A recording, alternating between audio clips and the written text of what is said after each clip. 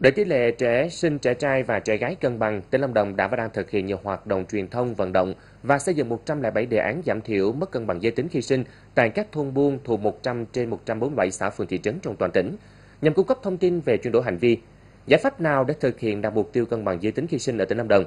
Phóng sự cuối của loạt phóng sự dài kỳ sẽ đề cập đến vấn đề này.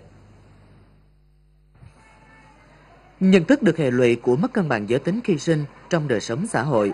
từ năm 2011, cán bộ dân số kế hoạch hóa gia đình đã bắt tay vào thực hiện các hoạt động tuyên truyền, vận động người dân nâng cao nhận thức để thay đổi hành vi. Một trong những hoạt động của những câu lạc bộ như thế này cũng đã được thành lập và đi vào hoạt động ở các địa phương trong tỉnh. Từ đầu năm 2015 đến nay, 254 buổi cung cấp thông tin cho cán bộ cấp ủy, chính quyền, các tổ chức đoàn thể xã phường thị trấn. Trên 1.000 buổi thông tin qua các phương tiện thông tin đại chúng, gần 500 buổi nói chuyện chuyên đề về giới, về giới tính, xây dựng và duy trì 71 câu lạc bộ chăm sóc sức khỏe sinh sản và mất cân bằng giới tính cũng đã chuyển tải các thông tin mất cân bằng giới tính khi sinh đến các tầng lớp nhân dân. Thôn Ánh 13 là một trong những cái thôn vùng sâu vùng xa của xã Lập Châu. Dạ thì chúng ta đi vào thì chúng thấy đường đi lại cũng rất là khó khăn như chị em muốn tiếp cận các dịch vụ về y tế hay là dịch vụ kết với gia đình thì nó cũng còn khó khăn. Nên đó là lý do mà em với bên hội phụ nữ của xã mới là mình phối hợp, mình thực hiện thực đà chọn cái địa điểm là thôn Ánh 13 thì tuyên truyền về cân bằng giới tính khi sinh này, về chăm sóc sức khỏe sinh sản cho chị em tại thôn. Trung tâm dân số kết với gia đình cũng đã tham mưu với ờ, thành ủy Bảo Lộc và ủy ban nhân dân thành phố đã kịp thời là triển khai các cái kế hoạch chỉ đạo À, cho các địa phương của các xã phường à, tổ chức thực hiện cái công tác tuyên truyền đẩy mạnh cái công tác tuyên truyền à, sâu trong nhân dân của thành phố để mọi người đều nhận thức được à, là cái hậu quả của mất cân bằng giới tính khi sinh. Và từ đó thì nhận thức của người dân người ta sẽ hiểu được cái hậu quả đó và người ta sẽ có những cái biện pháp và cả những cái hành động cụ thể để mà không có phân biệt giới tính khi sinh à, không giảm đi cái sự tổn à, trọng nam khinh nữ và để cho mỗi người đều hiểu rằng là con trai cũng như con gái à, đều có quyền lợi, có nghĩa vụ và phụng dưỡng bố mẹ về sau như nhau. Cùng với các hoạt động truyền thông vận động là việc nêu gương tôn vinh các gia đình sinh con gái, nhưng có cuộc sống ấm êm, hạnh phúc và phát triển. Gia đình này là một trong những tấm gương để mọi người học tập và làm theo. Sinh hai con gái, nhưng cả hai vợ chồng thực sự thấy hạnh phúc khi con đều chăm ngoan, thành đạt. Kinh tế gia đình không những phát triển mà họ còn tạo công ăn việc làm thường xuyên cho trên 50 lao động tại địa phương. Với họ, không có hạnh phúc nào lớn hơn thế.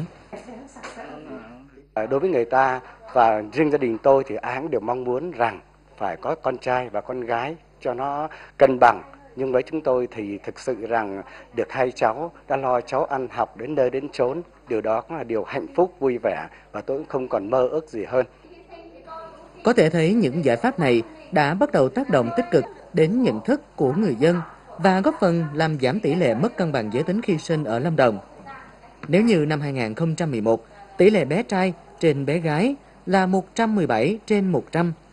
thì đến nay Tỷ lệ này được ghi nhận là 112,5 trên 100.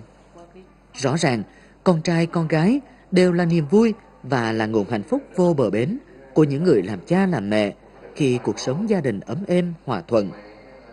Bằng tình thương và trách nhiệm, những người con được sinh ra và lớn lên trong tình yêu thương của gia đình chắc chắn sẽ là những công dân có ích. Vậy làm gì để khơi thông suy nghĩ và hành động của mọi người về giới? tăng cường sự lãnh đạo của đảng và quản lý nhà nước cho công tác dân số gia đình. Trong đó thì công tác lãnh đạo của đảng và tăng cường về quản lý của lãnh đạo các cấp từ tỉnh đến cơ sở và trong vấn đề là hỗ trợ các nguồn lực để thực hiện giảm thiểu mất cân bằng giới tính trong toàn tỉnh. Thứ hai cũng như là củng cố rồi xây dựng bộ máy công tác dân số gia đình đủ mạnh để thực hiện tốt công tác dân, chương trình dân số gia đình, tham mưu để xây dựng các chính sách hỗ trợ cho những gia đình mà sinh con một bé gái, cũng như là chính sách an sinh xã hội. Trong đó có cái mà làm sao để cho chăm sóc người cao tuổi, làm sao một cách rất thuận tiện để tăng cường kiểm tra, giám sát thường xuyên và liên tục, đảm bảo tính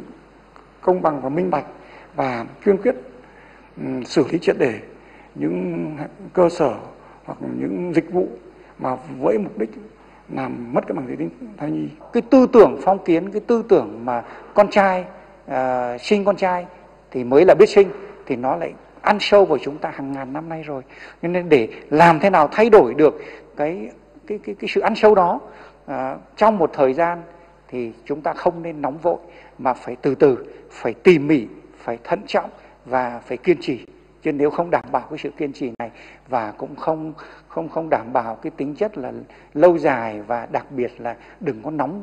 nóng vội thì chúng ta mới có thể đảm bảo được cái yêu cầu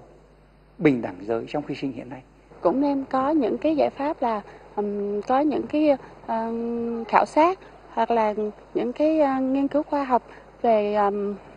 địa bàn để tìm ra những nguyên nhân và giải pháp khắc phục cái ờ, hậu quả và hệ lụy của mất cân bằng giới tính khi sinh. Việc đưa các giải pháp để tác động chuyển biến nhận thức về giới, tránh định kiến giới trong cuộc sống ngày nay là công việc không thể thực hiện trong ngày một ngày hai mà phải duy trì một cách bền bỉ lâu dài.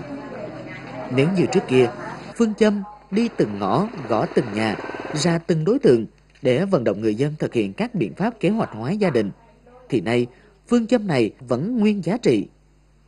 với sự nhiệt tình của đội ngũ cán bộ làm công tác dân số, sự phối hợp của các ban ngành, sự chỉ đạo sát sao của cấp ủy chính quyền các cấp và sự tham gia nhiệt tình của trên 2.100 cộng tác viên dân số. Hy vọng nhiệm vụ này sẽ đạt được hiệu quả như những thành công trong thực hiện công tác giảm sinh mà Lâm Đồng đã đạt được trong những năm qua.